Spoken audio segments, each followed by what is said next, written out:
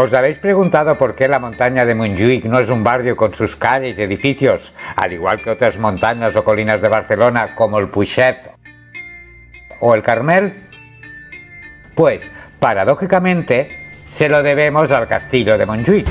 En todas las llamadas por entonces zonas polémicas, las que rodeaban a la fortaleza, estaba prohibido construir, es decir, en casi toda la montaña la exposición de 1929 y el funicular de Montjuic, que llegaba casi hasta el mismo castillo, fueron las primeras acciones de recuperar la montaña para uso y disfrute de la ciudad. Esta es la historia de aquel funicular.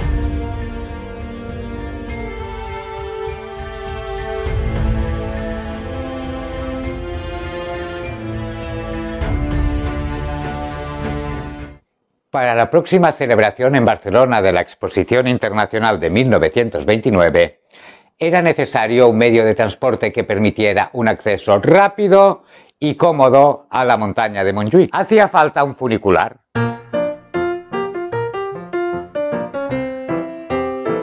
El promotor de la construcción del funicular de Montjuic era Elías Rugent Massó, uno de los socios fundadores de la empresa que construyó el cremallera y el funicular de Montserrat.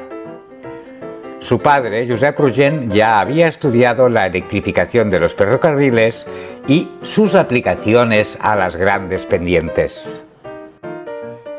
Desgraciadamente, Elías Rouget Massó murió prematuramente, por lo que su padre, su hermano Juan y su viuda, Dominga Parés, se encargaron de continuar adelante con el proyecto aprobado. La construcción de este funicular iba a costar 3 millones de pesetas.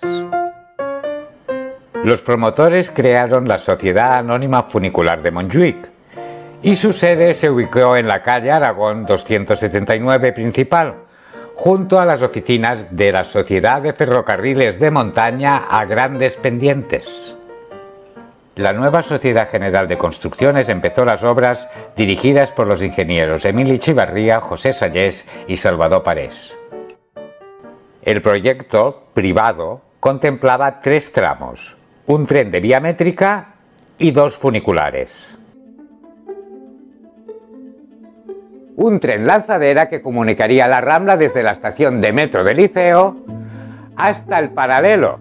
De aquí subiría el primer funicular hasta Miramar y después el segundo funicular hasta el castillo. El trayecto desde el paralelo al castillo se haría en 11 minutos.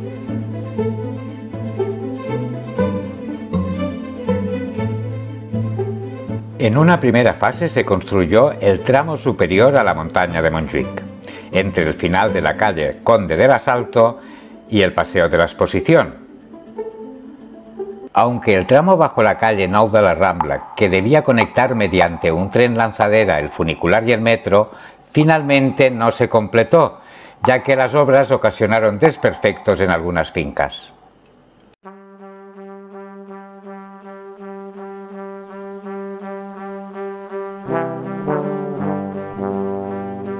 El barranco de la zona cercana al camino de la Font Trubada obligó a construir un viaducto de mampostería de siete arcos para atravesarlo.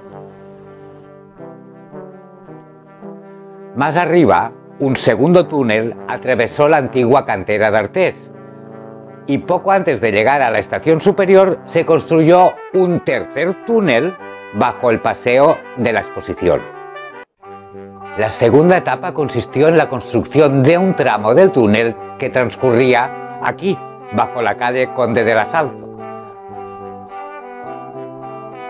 Se tuvo que hacer a cielo abierto, con una zanja central en la calle, que después se tapó con losas de hormigón armado, y se creó una subcentral eléctrica.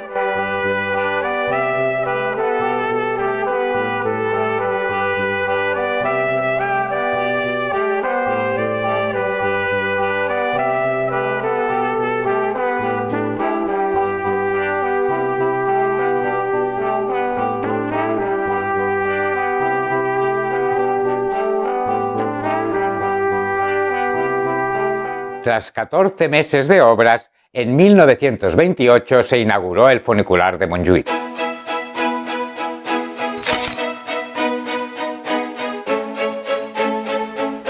Los vagones tuvieron que trasladarse con grandes plataformas tiradas por caballos.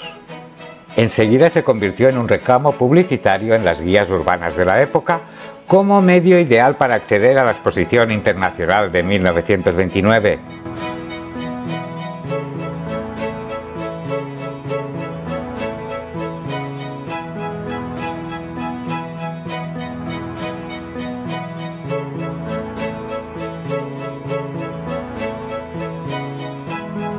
Mientras tanto se iban acabando las obras del segundo tramo, que iba desde Miramar al castillo.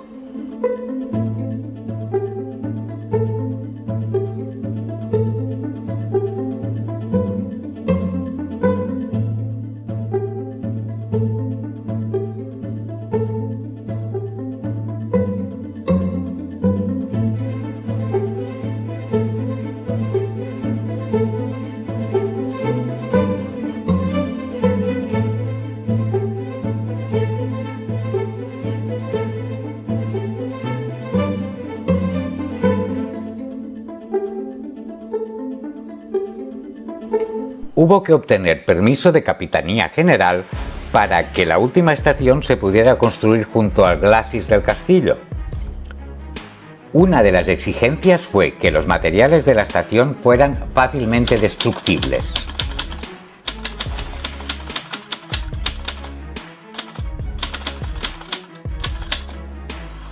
Y que debajo de la estación hubiera una cámara de mina para destruir la estación con explosivos en caso de amenaza. El tramo desde Miramar al castillo fue inaugurado el 24 de julio de 1929. Durante los días sucesivos fue considerado el principal y mejor medio de transporte para acceder a la montaña.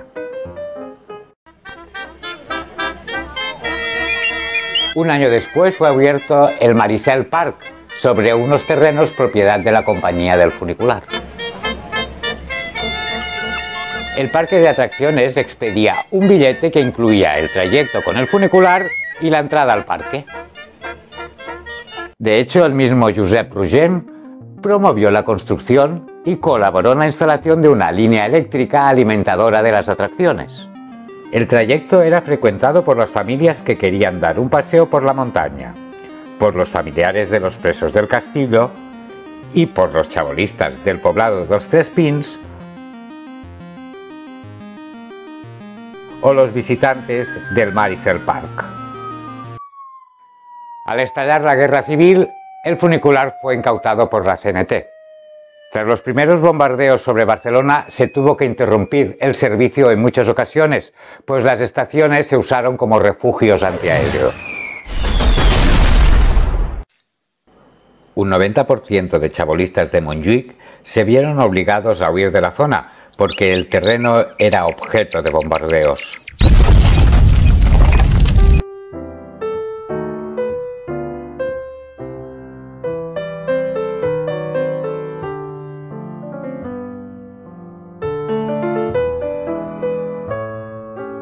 Fue cuando el parque de atracciones Marisel cerró sus puertas para siempre. La empresa pasó a llamarse Funiculares de Barcelona Sociedad Anónima. El personal de mantenimiento no estaba muy cualificado y los gastos de conservación eran demasiado elevados. A duras penas fue manteniéndose el servicio hasta que, al acabar la guerra, la empresa pasó nuevamente a sus propietarios legales. Se reanudó el servicio, pero muchos usuarios ahora preferían subir a pie a la montaña para ahorrarse el precio del billete. Las averías, los cortes eléctricos y la falta de repuestos afectaron a la línea, por lo que se estableció un acuerdo con Ferrocarriles de Cataluña, Sociedad Anónima, para que las reparaciones se llevaran a cabo en sus talleres de Sarriá. A partir de 1945, el funicular experimentó un ligero incremento de pasajeros, siendo los chabolistas de la montaña los usuarios más fieles y habituales, pero no fue suficiente. La empresa acumulaba deudas, por lo que Hacienda embargó parte de sus instalaciones. En los 50 los barceloneses le habían dado la espalda a la montaña, ahora un espacio degradado y ocupado por poblados chabolistas. Los niños del poblado hacían pequeñas gamberradas lanzando objetos metálicos al cable electrificado. Más de un gato despistado tuvo un final de alto voltaje.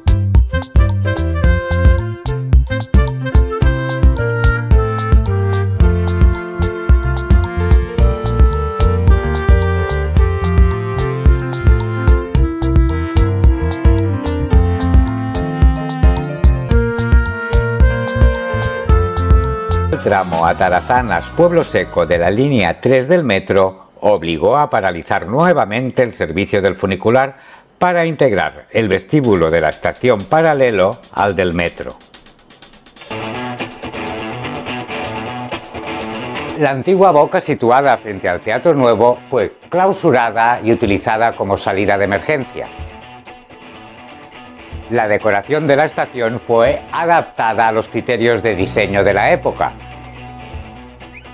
y la vieja cinta transportadora fue eliminada definitivamente. El 17 de junio de 1970 se inauguró dicho tramo con la integración del funicular.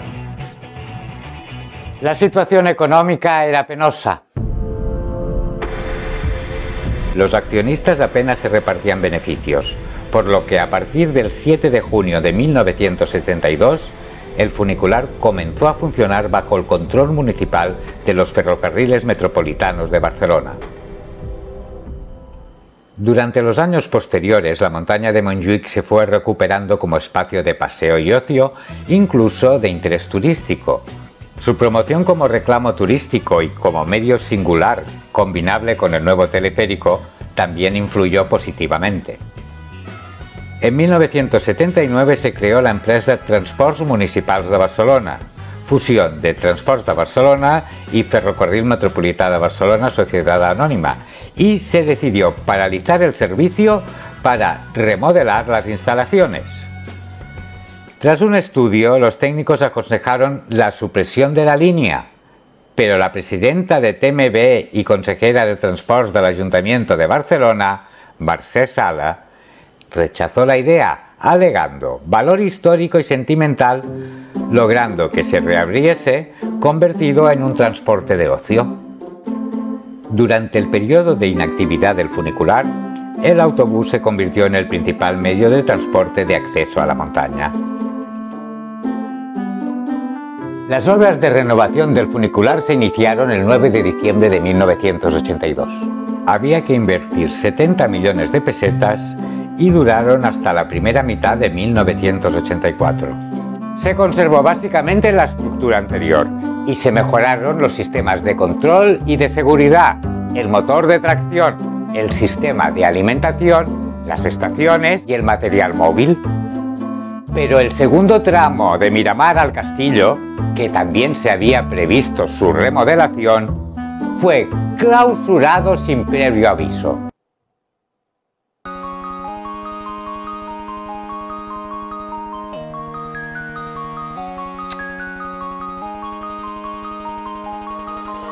El 17 de julio de 1984 el funicular entró nuevamente en servicio. La estación Paralelo pasó a llamarse Paralel y la estación Miramar pasó a llamarse Parc de Montjuic. Las estaciones se habían renovado y puesto al día la maquinaria. Se dejó a un lado su función de servicio regular de pasajeros y se convirtió en un transporte de ocio. Circulaba los sábados, domingos y festivos de todo el año, excepto en Navidad, Semana Santa y en verano, que lo hacía diariamente.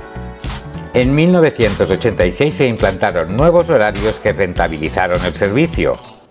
Ante la previsión de que Barcelona fuera la ciudad designada para la celebración de los Juegos Olímpicos, se presentaron varios proyectos para mejorar la accesibilidad a la montaña.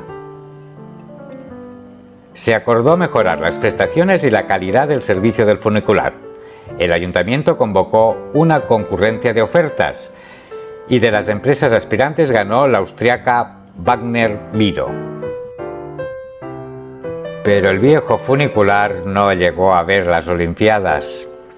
El miércoles 6 de marzo de 1991 se hizo el acto oficial de despedida del viejo funicular.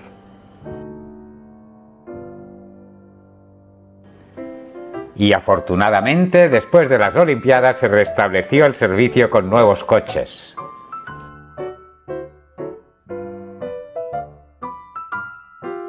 El 2018 el funicular se volvió a cerrar para hacer una reforma integral de todas las instalaciones.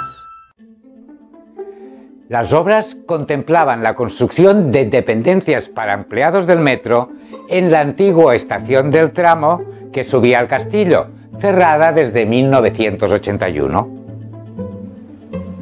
La presión de diferentes historiadores relacionados con el patrimonio del transporte de la ciudad hizo que finalmente el distrito Sans-Montjuic no autorizara a TMB destruir aquella estación de 1929.